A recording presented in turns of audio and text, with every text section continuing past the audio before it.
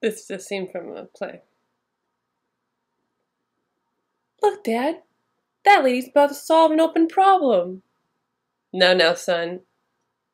That's very rare. No, look, Dad. That lady's about to solve an open problem. By golly, son, you're right. It does look like that lady's about to solve an open problem.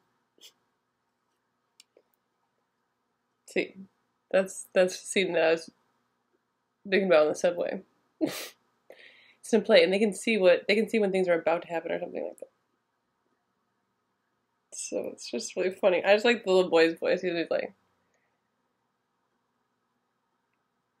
"Look, Dad, that lady's about to solve an open problem." No, no, son. That's very rare. No, look, Dad. That lady's about to solve an open problem. Like you see, like a conversation.